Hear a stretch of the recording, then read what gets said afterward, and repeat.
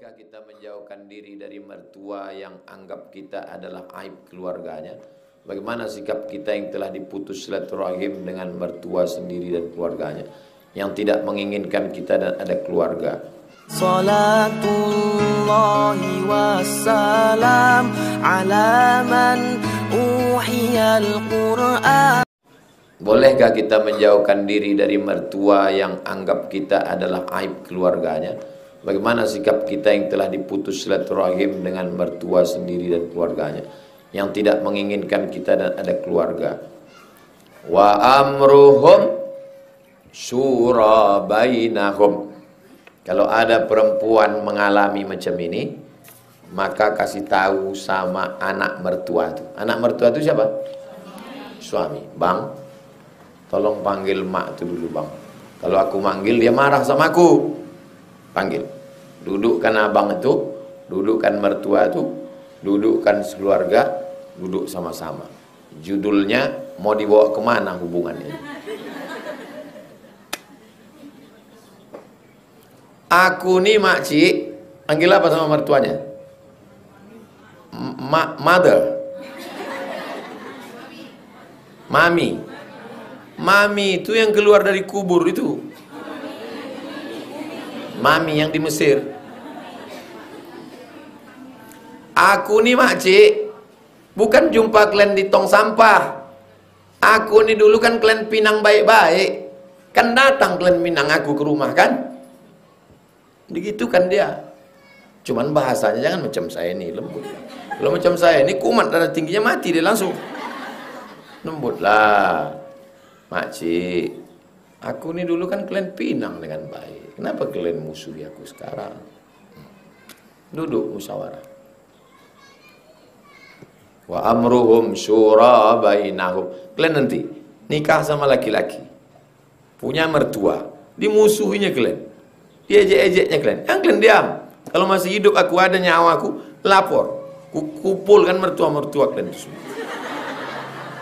Eh, mertua-mertua setan. Anak ini dari taman SD ku sekolah kan. Anak ini diajar Ustazah Fatimah ngapal Quran. Kenapa kalian musuhi dia? Ini bukan binatang. Hmm, saya kasih tahu. Tidak bagus-bagus. Buatkan teh manis, kurang manis. Dikasih gula, pahit kali. Dikasih manis, manis kali. Mau apanya kau? Manusia ini kalau kita tidak bersikap dipijaknya kepala kita. Betul? Ah, setuju ibu-ibu ini semua. Kalian jangan kalian lembek-lembek.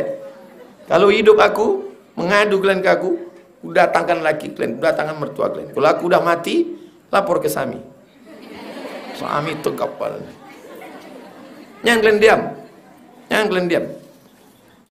Gimana sosok seorang ayah yang baik untuk anaknya?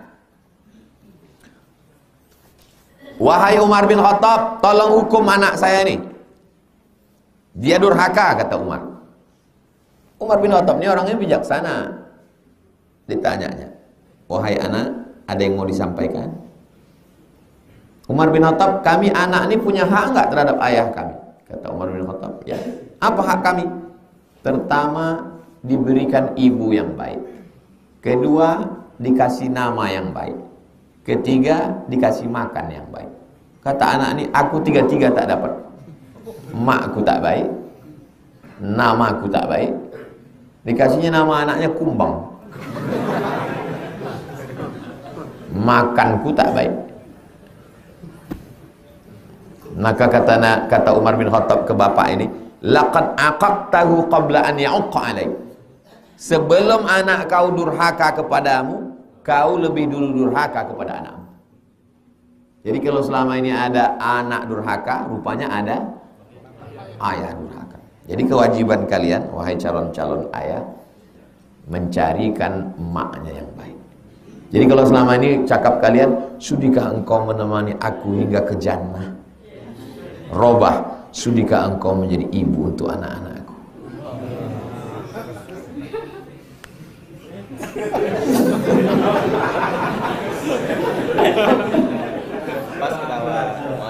Karena antum akan pergi keluar kota, akan ke mana? Yang mengajar anak itu cara makan, berpakaian, bertutur kata, mengaji, baca Quran Adalah dia yang tinggal di rumah. Kalau kalian pilih serigala Maka anak itu akan jadi Ganteng-ganteng jadi serigala. Yang kedua kasih dia nama yang baik. Pilihkan nama yang baik. Kalau jumpa sama orang di Maroko Kaifa haluk? Mizyan. Mizyan artinya baik. Maka saya kasih namanya Mizyan. Mulia, tinggi, agung, mulia. Sami. Sami artinya tinggi, agung dan mulia. Saya kasih namanya supaya dia mulia. Tapi dia tetaplah hamba Allah. Sami Ahmad Misbahi Ibadillah. Nama anak saya. Nama saya dikasih atuk saya dulu Solah Solah pakai hak. Solah, solah artinya baik. Solah artinya baik. Orang Melayu, solah itu ikan selar. Mak saya tak pandai bahasa Arab. Masa, siapa nama anak agak anakku ya? Solah. Anak ikan gitu. Gantilah lain. Saya ganti Abdul Somad. Kasih nama anak kau ni, ku kasih nama Abdul Somad. Datang atuk saya satu lagi, ganti nama dia ni. Karena dalam keluarga kita, sebelum saya ni, di atas saya ada tiga. Pertama, atuk Abdul Somad merantau ke Kedah, meninggal di Kedah, tak balik-balik. Yang satu lagi meninggal. Kata datuk yang ini, ganti nama dia ni. Karena dalam keluarga kita sudah ada dua Abdul Somad, yang satu pergi tak balik-balik, satu meninggal. Saya ini yang ketiga dalam keluarga. Abdul Somad yang pertama ke Kedah tak balik-balik, Abdul Somad yang kedua meninggal, Abdul Somad yang ketiga ini dibuli terus. Seperti apa hablum nas yang sebenarnya? Karena ada kondisi kita tidak sadar orang menyapa kita, tapi kita tidak tahu.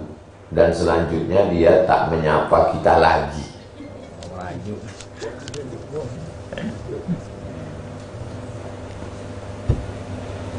La yukallifullahu nafsan illa usaha. Allah tidak.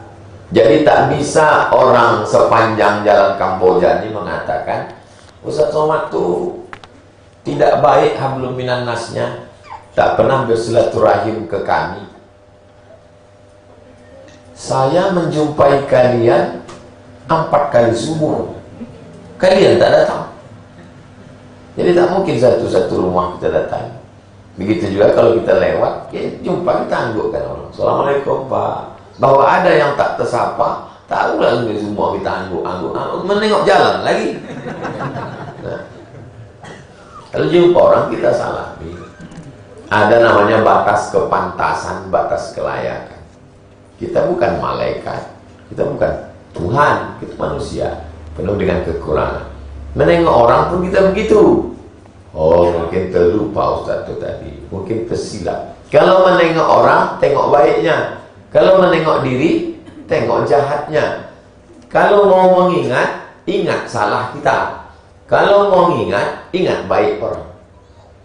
Kalau kacamata itu kita pakai, insya Allah Datanglah kawan saya dari Kalimantan. Sama-sama di Mesir, sama-sama di Malaysia bininya orang Riau. Mat, aku sedang di Pekanbaru. Ah, datanglah. Minumlah kami. Besok pagi meninggallah emak Ustad dosen sains teknologi Ustadz Arif Marsal kenal meninggal Ustadz emak Ustadz Arif Marsal saya bawalah kawan tadi karena kami sama-sama alumni Timur Tengah, kami berduka cita. Pas kami sedang duduk, berdiri semua orang. Ini ceritanya 10 tahun yang lalu. Pas sedang duduk berdiri orang. Kenapa? DPD masuk. Disalami DPD ini semua yang berdiri itu. Pas ke saya, tadi salamnya saya kawan saya yang dari Kalimantan ini terkejut kau kok tak disalaminya? Untung saya dapat jawaban cepat. Dia udah tua, mungkin tak nampaknya. Padahal dalam hati saya mak sampai tidak disalami. Bayangkan tuh cemana malunya kita ke kawan kita. Kita tak disalami orang. Makanya saya kalau jumpa sama orang, mau yang berdiri, mau yang tidak saya salam. Sebab sudah. Kalau bahasa kampungnya, I was there. Aku pernah mengalami yang seperti yang kau alami guys. Hari berganti musim berubah. Setahun, dua tahun, lima tahun, tiba-tiba ada orang menelpon. Assalamualaikum. Waalaikumsalam. Bisa Ustaz datang ke rumah saya? Ini siapa? Saya Fulan. Rupanya yang DPD itu. Terbayanglah saya dia tak menyalami saya. Kalau saya turutkan emosi saya tak datang saya. Tapi saya mau melawan diri saya. Kau ini Ustaz Abdul Somad. Inilah masanya kau melawan diri kau. Saya datang. Ustaz mesti dijamu karena Ustaz adalah seorang orang ulama Riau. Dalam hati saya.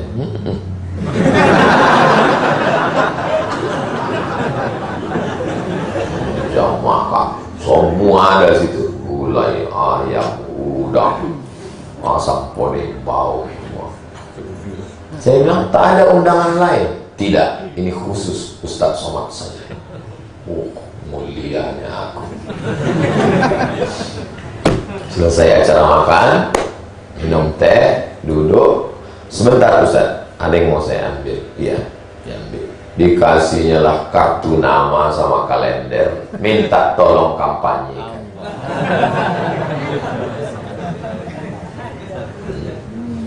Jadi saya masalah disepelekan orang ini udah biasa. Jadi, tak saya balas. Ustaz saya baca, saya saya baca. Eh, ceramah saya bawa. Tadi cucu orang tidak Allah saya bawa. Saya sedang tausiah ceramah. Saya sedang ceramah. Pas sedang tausiah ceramah itu selesai, datanglah bapak. Saya nggak percaya itu yang namanya bekam-bekam itu. Apa itu bekam-bekam? Nggak ada darah-darah kotor itu menurut medis. Dia dokter terkenal di Riau. Saya waktu itu dalam hati. Berarti kan menembak saya itu. Kan saya penceramah. Saya diam saya tak. Karena acara sudah selesai, tidak dalam acara dialog, sudah acara minum-minum. Tapi cakap itu pasti ditujukan ke saya, karena saya situ. Hari berganti musim berubah, bang, bang, bang, bang, bang, bang, bang. Ustaz sama ada orang mau jumpa. Di mana? Tempat jual lontong di Masjid An-Nur depan. Sudah. Apa masalahnya Pak? Ini Pak Ustaz terjadi konflik antara kami dengan istri abang kami. Masalah apa? Masalah harta warisan. Abang kami ini tak ada anaknya. Jadi ahli warisnya adalah kami dan istrinya. Oh. Siapa nama abang bapak? Namanya si Fulan. Eh, Fulan yang mengejek saya. Masalah bekam. Kalau saya turutkan ngamuk saya, ah itulah abang kau tuh. Tapi waktu itu saya sedang melawan diri saya. Abdul Somad, kau ini ustaz. Kau mesti melawan dendam. Ya, pede, disepelekan orang tak apa. Jadi nanti mungkin waktu kuliah nih disepelekan orang, jejek orang. Nanti antum pulang lagi ke Pekanbaru sebagai pejabat, sebagai konglomerat, sebagai orang hebat. Antum saat itu tidak melawan orang, tapi yang dilawan itu adalah diri sendiri. Kalau bisa antum menaklukkan diri antum, dunia ini dalam genggaman antum. Tapi kalau diri antum tak bisa antum lawan, maka antum dikuasai oleh hawa nafsu. Ustaz sudah sampai pada makom menundukkan diri belum? Dalam beberapa hal tak juga tahan. Kalah juga kadang-kadang kita. Apakah masalah riba bunga bank termasuk khilafiyah? Tidak. Bunga bank tak ada khilafiyah. Tapi dulu ada fatwa dari Said Tontawi mengatakan bunga bank boleh ditekan oleh kekuasaan. Maka dibantah oleh Syekh Yusuf Qardawi. Waktu itu beliau sedang berada di Makkah, Mu'tamar. Semua ulama-ulama Al-Azhar membubuhkan nama kitabnya Fawaidul Bunuk Riba Muharram. Lihat nanti di ujung buku itu tanda tangan ulama yang waktu itu sedang Mu'tamar di Makkah. Menyetujui Fawaidul Bunuk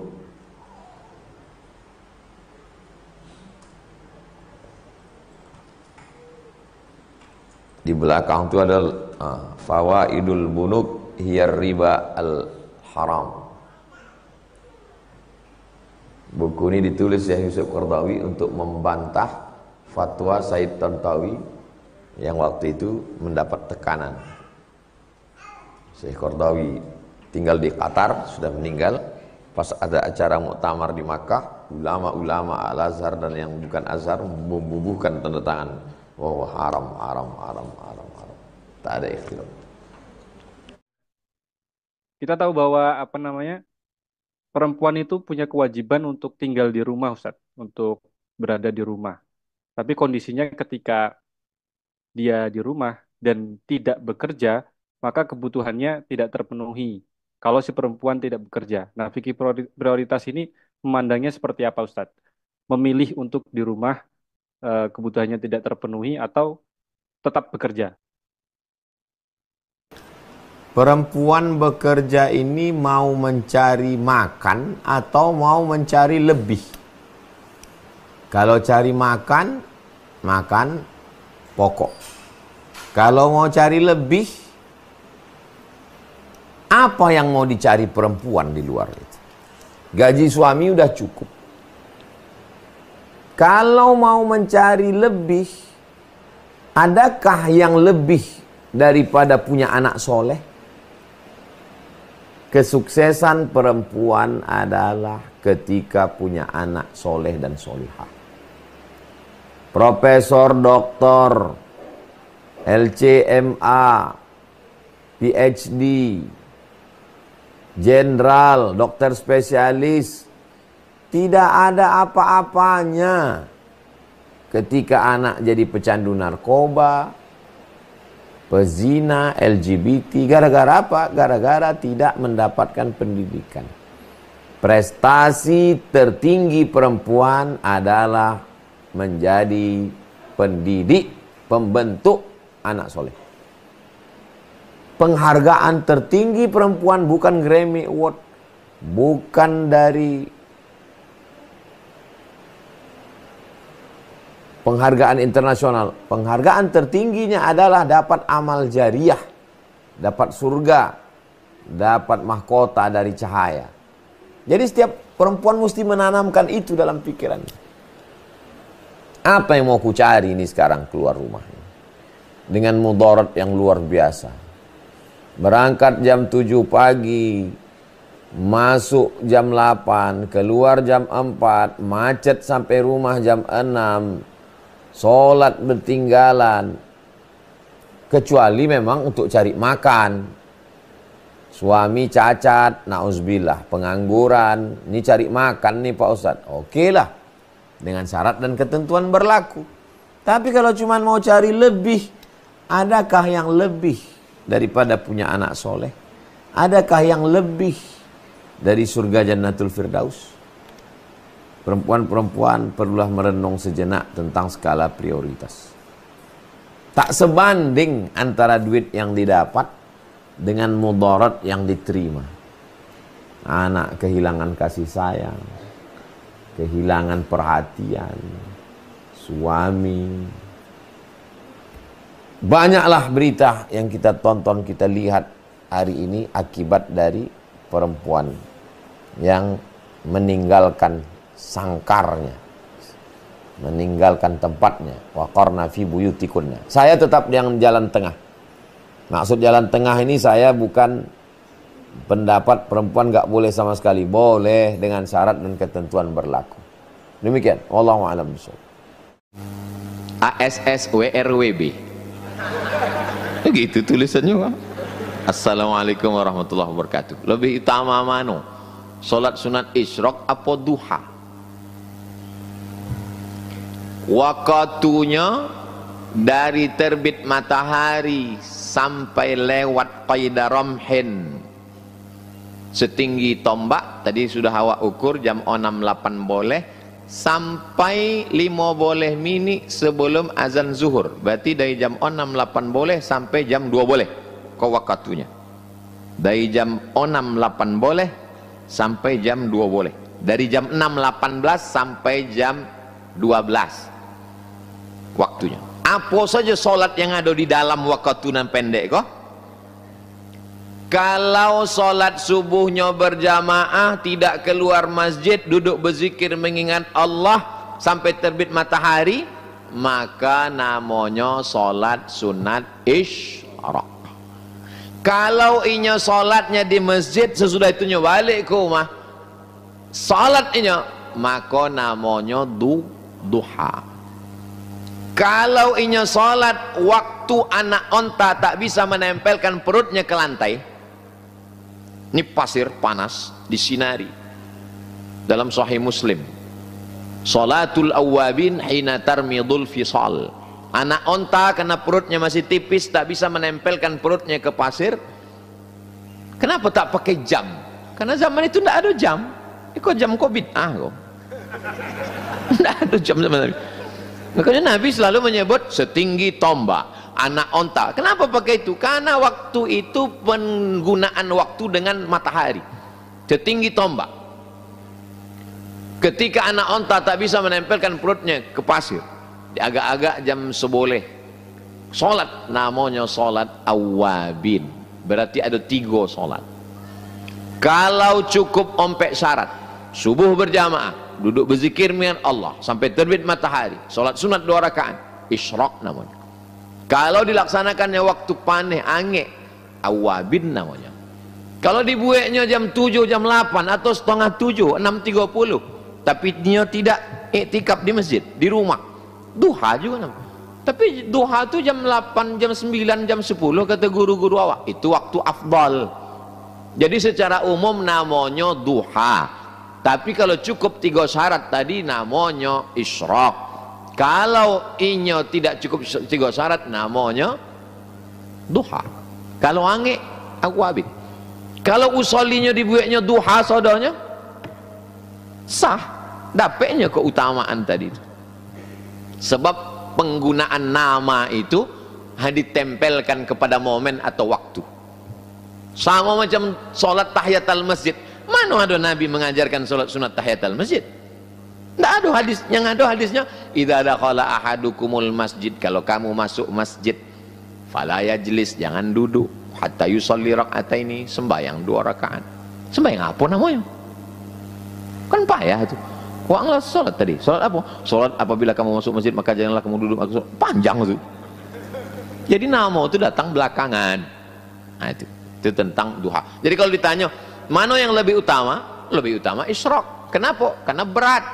Syarat isyrok tiga. Salat subuh berjamaah, duduk berzikir dengan Allah sampai terbit matahari. Kalau duha tak ada syarat ketat macam itu. Al jaza ala qadril amal. Semakin berat syarat, semakin besar pahala. Tapi katanya semakin ikhlas. Ikhlas mana ada yang tahu? Malaikat pun tidak tahu apa ikhlas. Ikhlas itu hanya Allah dan awak yang tahu dalam hati. Malaikat tidak tahu ikhlas. Kalau memang malaikat tidak tahu ikhlas, kenapa malaikat bisa menulis? Siapa yang berniat baik, tulis satu. Kalau jadi, tulis dua. Kalau tidak jadi, tulis C. Dari mana malaikat tahu? Dalam kitab Ar-Risalah Al-Qushairiyah, kata Imam Al-Qushairi, waktu orang itu ingin berbuat baik, malaikat mencium harum semerbak. Tulisnya satu. Malaikat tidak tahu apa yang di dalam. Ini cuma mencium bau aroma hmm baik. Terus satu jadi kalau ada uang tidak pernah berniat baik berarti apa yang dicium malaikat? Hmm sambal belacan gitu malaikat. Waktu sholat Bila waktu ayat Waktu sholat tuh Pak Ustaz Sholat hajat tuh kapan? Pagi, petang, siang, malam. Beda sama duha. Duha hanya pagi. Beda sama tahajud. Tahajud hanya malam. Sholat hajat pagi, petang, siang, malam, sore. Boleh Ayatnya Pak Ustaz Ayat apa saja? Bebas. Dia ada sama sujud tilawah. Sujud tilawah mesti ayat sajadah Kalau uh, hajat terserah apa saja. Tak ada ayat tertentu. Apa benar solawat tidak pernah ditolak Allah? Solawat ada yang disampaikan Nabi dalam hadis. Lafaz solawat yang ada dalam hadis buka 99 tanya jawab solat. Solawat, solawat yang ada dalam hadis. Ada satu lagi solawat yang dibuat ulama. Allahumma salli ala sayyidina Muhammad wa ala ali sayyidina Muhammad tibbil qulubi wa dawaiha. Itu dibuat ulama. Salatan tunjina biha min jami'il ahwali wal afat. Ulama. Tanfariju bihil kurab wa tuqda bihil hawaij. Salat yang dibuat oleh ulama. Tak boleh membuat-buat salawat. Siapa yang membuat-buat salawat ini masuk neraka pelaku bid'ah. Imam Syafi'i membuat salawat kullama zakarahu zakirun wa ghafala an zihi an zikrikal ghafilun itu selawat yang dibuat Imam Syafi'i dalam kitab Ar-Risalah kitab usul fikih pas di dalam itu ada dia bermimpilah seorang ulama berjumpa sama Imam Syafi'i Imam Syafi'i apa balasan Allah untuk engkau kata Imam Syafi'i Allah masukkan aku ke dalam surga. Istanaku terbuat dari emas, lantainya permata, kubahnya, dan aku diiringi oleh para malaikat. Apa amal engkau? Karena aku menulis salawat kullama dzakaraka dzakirun wa ghafala an zikrikal ghafilun. Itulah yang selalu dibaca waktu malam Jumat habis. Nama dzakaraka dzakirun wa ghafala an zikrikal ghafilun.